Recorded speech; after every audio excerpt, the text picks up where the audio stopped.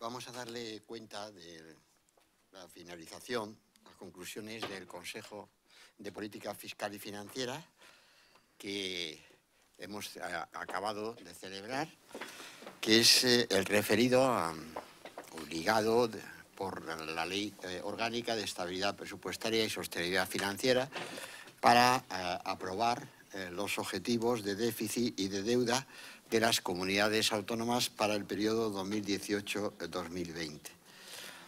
Esa senda es la que, junto a la corrección del déficit de la Administración General del Estado, eh, de eh, la seguridad social y el superávit de las corporaciones locales permitirán que el año próximo eh, España salga del procedimiento de déficit excesivo de la Unión Europea. Por tanto, estamos a las puertas de conseguirlo y en ese sentido pues es de celebrar que se esté dando esta circunstancia cuando realmente eh, eso está eh, también facilitado por eh, la, propia evolución de las comunidades autónomas.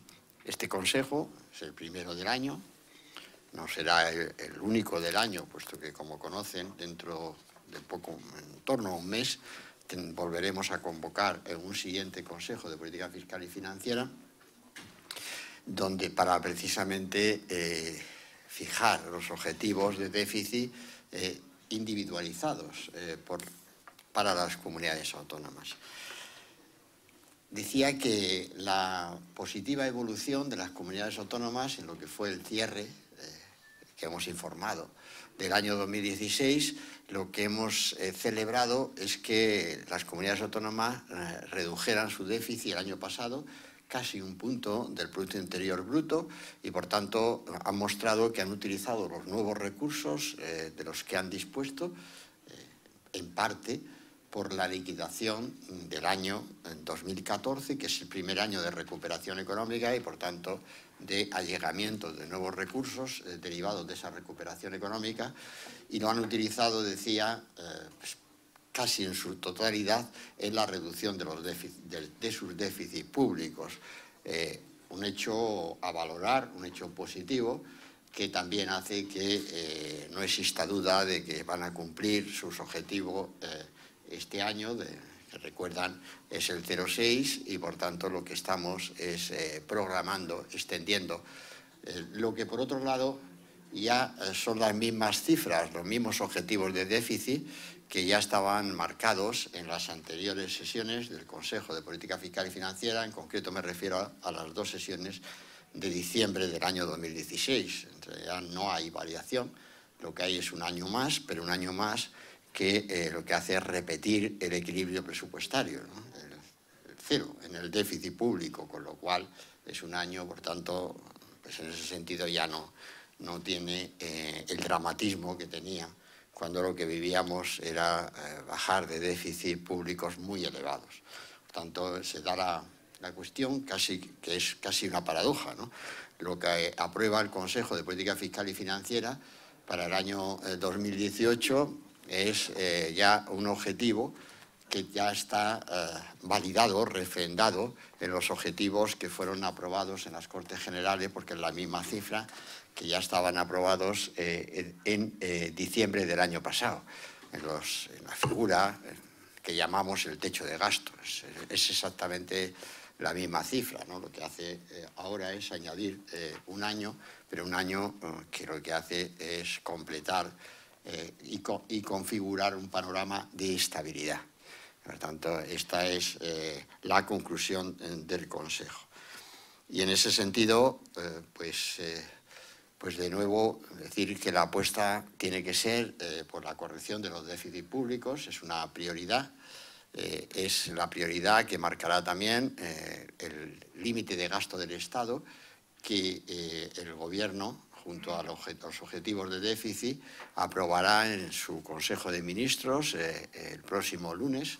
Celebraremos un Consejo de Ministros a esos efectos y a partir de ahí lo someteremos a el paso eh, por las Cortes Generales, en primer lugar por el Congreso de los Diputados y a continuación por el Senado. Este es eh, realmente el tiempo en el que estamos, insisto, en, y la importancia del de, objetivo de reducción del déficit público. Las votaciones son, ya las conocen, no ha habido, no sé, para entendernos, ¿no? no sé si les ha llamado la atención, pero era perfectamente previsible eh, lo que iba a marcar eh, cada comunidad autónoma. En ese sentido, pues no, no es eh, noticiable, ya lo sé, ¿no? pero es así. Era fácilmente predecible que lo que iba a ocurrir. Otra cosa es que, porque al ser mismo objetivo, mm, los que ya estaban marcados, pues otra cosa es que eh, ya estaban, insisto, validados eh, en las votaciones de Congreso eh, y Senado y, ahora pues se vota en contra. Pero bueno, esto es así, ¿no? para entendernos. Lo resumo diciéndole que, así funcionan las cosas en la vida pública. Lo importante es que tenemos ya los objetivos marcados, que vamos a, a elaborar este documento que junto a los objetivos incorpora el límite de gasto del Estado para el año próximo y con una corrección muy significativa del déficit del Estado para asegurar que en el conjunto de las administraciones públicas en el 2018, desde el 3.1 que registremos en este ejercicio 2017, el año que viene estemos en el 2,2. Y este es el planteamiento. Sí. Pasamos a... Sí, ministro, aquí a sus Ah, 11, más o menos. Ya le veo, sí. en, varias dudas. En primer lugar, ¿ha habido algún consejero cuando ha salido que ha declarado que usted les habría reconocido que este reparto del déficit es de alguna manera injusto, porque quizás se pide más esfuerzo a las comunidades autónomas que al Estado y quería saber si usted nos lo puede confirmar? En segundo lugar, seguramente le he oído mal, o me ha parecido entender mal, pero dice que en el siguiente Consejo de Política Fiscal y Financiera ¿Va a haber un reparto individualizado del déficit, ha dicho? ¿Esto es déficit asimétrico? No. No, no, no. Eh, y, la última, sí, si me lo permite, y la última, y para que me quede al menos claro a mí, eh, ¿hay margen para tocar el IRPF en los presupuestos del año que viene? Gracias. Bien, en primer lugar, en, lo que se refiere a los, eh, las declaraciones que cada uno, por supuesto, pues es muy libre ¿no? de hacer las interpretaciones que entienda, pero no, no, puedo hacer un reconocimiento de, injusticia donde no la hay, vamos, o sea, Lo que me he referido, he utilizado ese término, es en relación con, con que se ha entendido que la crisis fiscal del Estado que hemos vivido era muy profunda en el año 2011, como ustedes recuerdan, eran varias las comunidades autónomas que no podían financiarse, por sí solas, por sí mismas, esa crisis eh, es una crisis que se juzgó eh, en función de que era una crisis eh, que se proyectó y que la responsabilidad de esa crisis estaba en el Estado de las Autonomías en España. Ahora cuando ya tenemos a los ayuntamientos saneados, cuando las comunidades autónomas están ya, empiezan a estar preocupadas por la regla de gasto, porque están varias de ellas cerca del equilibrio presupuestario y por tanto lo que hasta ahora pues no tenía, digamos, especial consecuencia. Cuando tienes un déficit público muy alto, pues no, esto de que te limiten el gasto pues es, una obviedad, pero cuando ya estás en equilibrio presupuestario te interesa mucho el contenido de la regla de gasto. Y por tanto, a eso, a eso me refería.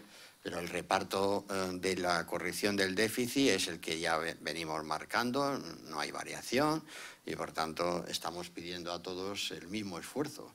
El mismo esfuerzo que estamos, eh, por supuesto, practicando en la Administración General del Estado, donde la reducción del déficit, como ustedes conocen, en los datos que vamos publicando mes a mes, este año, este ejercicio, el déficit del Estado se está reduciendo eh, a la mitad que en el mismo periodo del año anterior. Por tanto, todos estamos haciendo ese esfuerzo. Nos decía que, que lo que establece nuestra normativa la ley de estabilidad es que eh, previamente a que el Consejo de Ministros apruebe eh, esa figura de los objetivos de déficit más el límite de gasto del Estado, eh, que es el primer paso para la elaboración de los presupuestos generales del Estado, eso es preceptivo convocar al Consejo de Política Fiscal y Financiera para hacer lo que hemos hecho, aprobar los objetivos de déficit y de deuda de las comunidades autónomas para el ejercicio 2018, para los ejercicios 2018 y 2020. ¿no? Es el primer paso. Pero a continuación hay que volver a convocar al Consejo precisamente para que el Consejo apruebe la individualización de esos objetivos. O sea, eso es lo que hacemos en julio y, eh, por tanto, estamos en, el tiempo ordinario, para entendernos, de elaborar el presupuesto general del Estado y también de estas convocatorias que de, Consejo de Política Fiscal y Financiera y ahora ya el de julio no tiene nada extraordinario, es, obligado eh, a partir, como es de esperar, por espera al Gobierno, aprobar eh, el llamado techo de gasto en el Congreso y en el Senado. Esto significará que lo que aprueba también es la estimación de ingresos eh, que espera el Gobierno en términos de lo que serán los ingresos tributarios que, sobre el que se calculan los anticipos a cuenta para las comunidades autónomas para el próximo ejercicio, para el año 2018. Y este es, el calendario. Por tanto, lo que estamos haciendo es también aprobar la financiación eh, de nuestras comunidades autónomas. ¿Y el IRPF, perdone? Perdón. Ah, sí. Mm, nosotros, el Ministerio está trabajando en tratar de identificar algunas eh, deducciones en el IRPF eh, para el año próximo. Estamos trabajando en ello, ¿sabe? Y por tanto todavía es muy prematuro que pueda decirles nada, pero simplemente esto, que estamos trabajando eh, en la identificación de ello y en estudiar los márgenes que existen también para llevarlo adelante en el año 2018 sin perjudicar los objetivos de déficit público, ¿no? con extrema prudencia.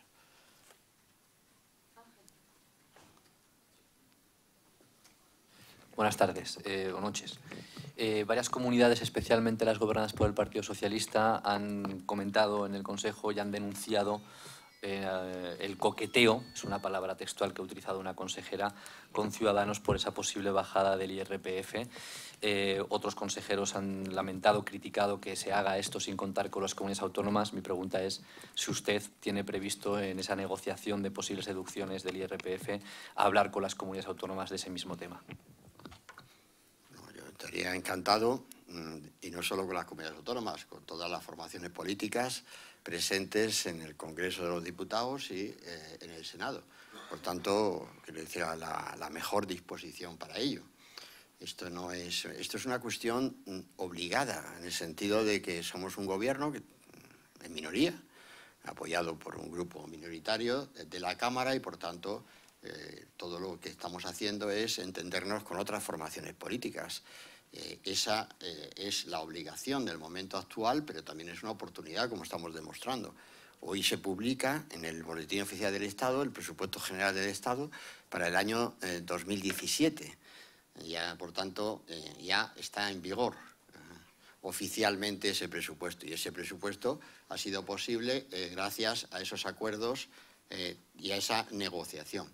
Y voy a recordar que también ese presupuesto ha sido posible gracias a que esa figura que llamamos techo de gasto fue aprobado en el Congreso eh, y en el Senado con las mayorías más amplias que nunca eh, se habían registrado en semejantes, en idénticas votaciones. Nunca antes había votado así.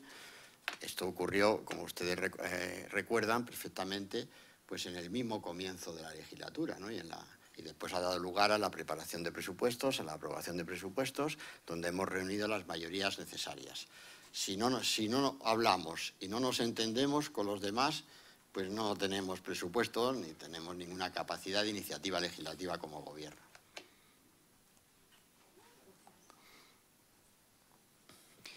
Eh, Acaba de hablar de deducciones en el IRPF. No sé si descarta una rebaja del marginal mínimo que estaba contemplando Ciudadanos y ha hablado de unos 2.000 millones. Entiendo que sería una cantidad menor la que están barajando. Quería saber, en el caso de que el techo de gasto que aprobó el Consejo de Ministros el lunes no fuera validado en las, las, cámaras, no sé si se lo contemplan y tendría que volver, tendrían que volver a elaborar otro y volver a traer otro, ¿cómo sería este, esta situación? Y por último, uno de los puntos hoy del día era, era relativo al, periodo medio de pago a proveedores, porque hay, si no me equivoco, un expediente de la Comisión Europea y podría significar que algunas comunidades cumplidoras dejarían de serlo si se aplica. No sé cómo ha quedado este asunto que han hablado. Gracias. No, la previsión del Gobierno es que llevemos adelante ese techo de gasto eh, porque tenemos los apoyos suficientes. eso es lo que estamos negociando. Entonces ya le digo que la tarde-noche de hoy ya es muy prematuro hablar del contenido de esa negociación. Todavía estamos hablando de lo que sería el límite de gasto del Estado compatible con eh, lo que eh, es la reducción del déficit público. Eso es lo que hablamos, lo que, perdón, lo que programamos, ¿no? Aparte de hablarlo, eso es lo que estamos programando.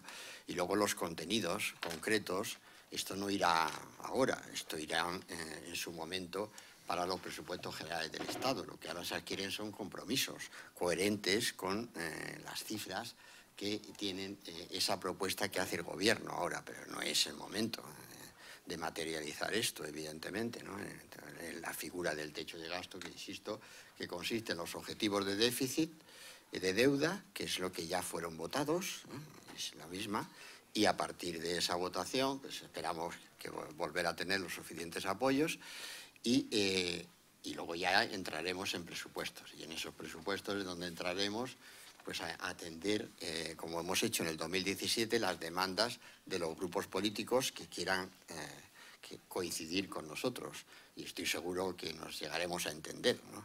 no sé por qué nos hemos entendido en el 2017 y no nos vamos a poder entender en el 2018. O sea, para tener unos nuevos presupuestos que, por cierto, mm, necesitan también las comunidades autónomas, porque la consecuencia de la publicación de los presupuestos generales del Estado hoy en el BOE eh, es que eh, las comunidades autónomas van a aumentar su financiación eh, en forma de mejorar los anticipos a cuenta en el ejercicio 2017 y lo haremos de una manera prorrateada, se pagará lo que se tenía que haber pagado desde el 1 de enero si hubiéramos tenido los presupuestos del año 2017. Por tanto, es muy beneficioso eh, para las propias comunidades autónomas. Y, perdón. Proveedores. El periodo medio pago a proveedores. Ah, sí, sí. Eh, lo, explica el secretario Sí, muchas gracias, señor ministro de Hacienda y de Función Pública. Buenas noches. Efectivamente, como usted apunta, uno de los puntos del orden del día era precisamente poner por parte del Gobierno de España el cumplimiento de una normativa de la Unión Europea, en concreto de una directiva que está fechada en febrero del año 11 y donde surge un problema de interpretación y de aplicación en el sentido de que la Ley Orgánica de Estabilidad Presupuestaria y Sostenibilidad Financiera establece el PMP, que es el periodo medio de pago a proveedores, dando en este caso a las administraciones públicas un periodo de 30 días desde el momento en el que se produce la entrada del registro a través de lo que es propiamente el depósito de la factura en la administración pública competente y, en segundo lugar, esa directiva de la Unión Europea entendía de otra manera lo que es concretamente el plazo máximo de pago a proveedores. Tenga usted en cuenta que el procedimiento, una vez que entra una factura en una administración pública a través de su registro, eso significa que se pone en marcha un procedimiento desde el punto de vista presupuestario, donde hay un documento contable donde hay una autorización del gasto y, en último lugar, una disponibilidad del fondo para hacer frente al pago de la misma. Estamos hablando de que en su momento expusimos en el trámite de audiencia pública durante 15 días naturales lo que significaba la puesta en marcha de este Real Decreto. No hubo ninguna alegación por parte de ninguna comunidad autónoma. Y, en segundo lugar, hemos puesto también de manifiesto que esto es una exigencia concretamente comunitaria para evitar que, indudablemente, España, en esa interpretación de la norma que se produce por las autoridades comunitarias en la diferenciación de periodo medio y plazo máximo de pago a proveedores, pues evidentemente trate de evitar lo que representa ya inicialmente un pilot, que es la apertura de un procedimiento de infracción previo a la imposición de una sanción. Entrará en vigor a partir del 1 de enero del año 18, el primer periodo de medio pago a proveedores que se publicará con la nueva metodología de cálculo adaptado a la normativa de la Unión Europea, que indudablemente nos obliga y vincula y que, por supuesto, pondremos en marcha en base a las directrices de las instituciones comunitarias, se realizará concretamente en marzo del año 18 y las comunidades autónomas lo que nos han pedido es que, en aras a la interpretación que, por supuesto, aceptan en cumplimiento de la normativa de la Unión Europea, establezcamos un proceso de reflexión a lo largo del próximo mes en el que a propuesta del ministro de Hacienda y Función Pública, pues al próximo Consejo de Política Fiscal y Financiera se traiga una propuesta consensuada, porque hemos, por supuesto, manifestado dentro de lo que significan las exigencias comunitarias eh, una vía de diálogo a través de la Secretaría General de Financiación Autonómica y Local para indudablemente despejar las dudas que puedan surgir con la interpretación que da la normativa comunitaria.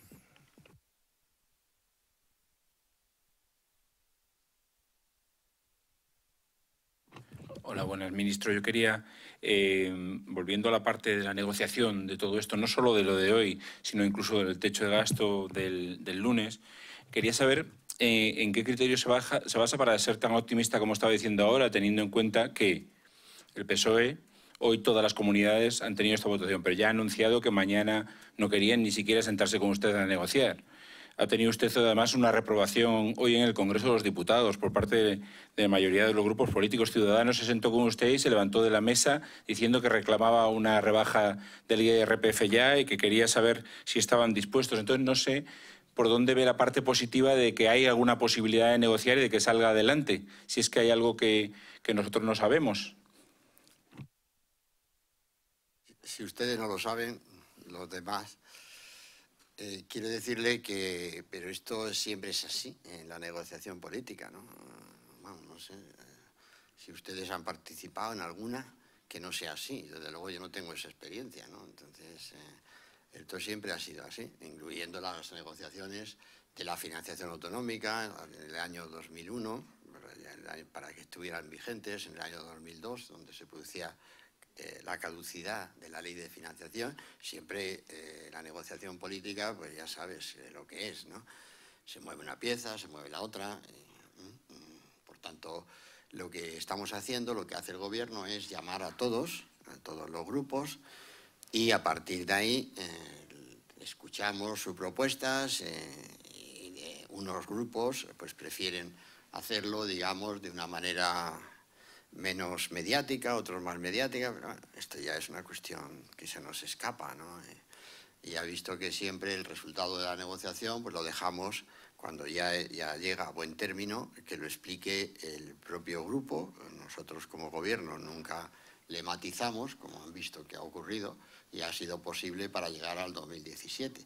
Y por tanto, yo tengo que expresarle la, la convicción de que vamos a, negociar. O sea, y estamos negociando, lo digo porque estamos negociando, no, no lo digo en el otro sentido, ¿no? Y entonces estamos negociando y, los demás, eh, en ese sentido, ya, me ya, me he referido esta mañana a ello, ¿no? La reprobación es una figura parlamentaria y, y como tal, pues todos estamos sometidos a la misma. Eh, pero no tiene consecuencias prácticas y, por tanto, significa que hay una mayoría en el Congreso que reprueba a, un ministro. Y en ese sentido, pues el ministro lo acepta en la democracia, como ha explicado esta mañana, y ese es el funcionamiento y el funcionamiento de nuestra democracia y de nuestras cámaras. Pero eso no es una figura práctica. Entonces, en el sentido este de que eso no significa que no continúe, si, si no, no, habría podido estar esta tarde, ¿no? Presidiendo, copresidiendo el Consejo con la vicepresidenta y abordando todos estos asuntos y demás. O sea, es que eh, la reprobación ha ocurrido también en un momento en que, insisto, tenemos mucha actividad. Bueno, esto es un ministerio que tiene siempre mucha actividad, ¿no? Esto, esto es, si me permiten la expresión, es no, no parar, pero pero, es que estás así, ¿no? Está en el BOE. El mismo día, fíjense que no deja de ser, ¿no? Eso, aquel, en el mismo día que se publica en el BOE eh, el eh, presupuesto general del Estado eh, para el año 2017, que por cierto, he tenido el honor de ser el ministro que publica su décimo presupuesto general del Estado, más cuatro de secretario de Estado de Economía. O sea que, en fin, mm, otra cosa no, pero oficio mm, ya tienes. Y en ese sentido, pues eh, estoy seguro de que eh, a todos nos va a interesar, incluso a los que dicen que se van a oponer ya a, priori, a todos nos van a interesar que haya presupuesto general del Estado para el año 2018. Y, por eso de ahí mi convencimiento, porque ya estamos, ya lo hemos vivido. Ya, estas son situaciones que ustedes recuerdan o no recuerdan, mm, que lo hemos vivido, sí. Se decía, lo han vivido, nos hemos vivido juntos, si me permite la expresión, ¿no? Lo hemos vivido, que tal, tira y afloja propio de la negociación política. Pero todos también, eh, me parece muy positivo que, por ejemplo, en el Consejo, pues todos estén de acuerdo con la estabilidad presupuestaria como principio. Me parece muy positivo que la Comisión Nacional de Administración Local el pasado lunes, pues también la Federación Española de Municipios y Provincias se pronuncie tan claramente a favor de la estabilidad presupuestaria y, por tanto, eh, pues todo eso hará que haya más coincidencias que divergencias en esa posición política. Sí, yo quería incidir un poco en la pregunta de la compañera. Ciudadanos eh, pedía un poco que se tocaran los tipos marginales del IRPF yo no sé si esto está sobre la mesa o va... Estamos estudiando, ya le digo, es que es pronto, ¿no? Estamos estudiando realmente cuál es la propuesta y cómo lo podemos adecuar. Entonces, eh, esa propuesta y adecuarla también y hacerla coherente, compatible con los objetivos de estabilidad presupuestaria.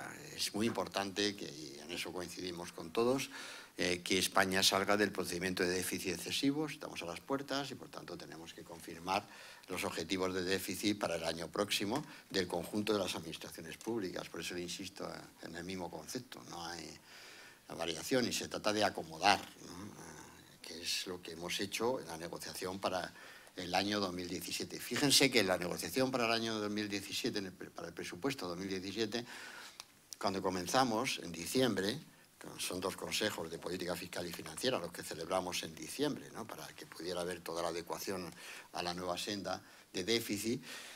Eh, cuando comenzamos, decía, eh, esa negociación política, partíamos de un objetivo eh, de déficit para el año 2017, del, que es el 3.1, había que bajar desde un cierre que no teníamos todavía, cierre definitivo del 2016, que eh, acuérdense que era cómo vamos a bajar el déficit 15, 16 mil millones. Parecía imposible. Ahora estamos mediado el año y, lo estamos haciendo eh, accesible. Lo estamos haciendo, hoy el déficit del 3,1 es factible y eso pues, tiene que ver eh, con que el resultado de esa negociación, lejos de estropear, lo está haciendo viable en la consecución de ese déficit y estoy convencido de que esa reunión de objetivos es lo que nos va a hacer otra vez pues, volver a coincidir. Pero ahora estamos en la fase eh, primarias de la negociación y, en ese sentido, bueno, para los medios es bueno también, ya lo saben, ¿no? Entonces, quiero decir, todo el día mandando recaos, tal, y entonces eso, es normal eh, en este tipo de negociaciones políticas y en general en la vida pública.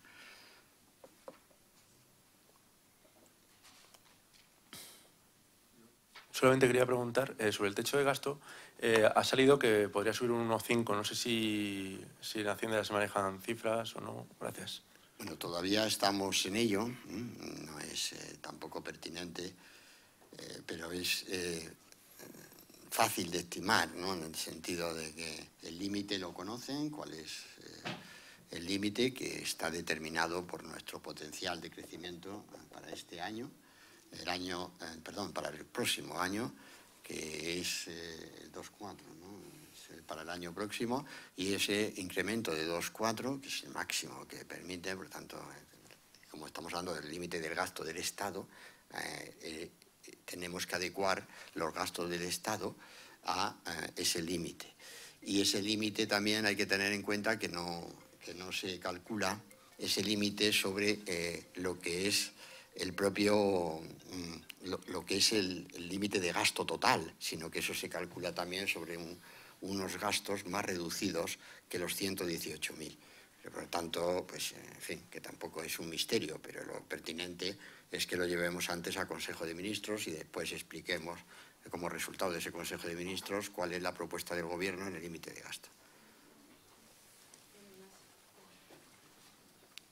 Nada más, muchas gracias.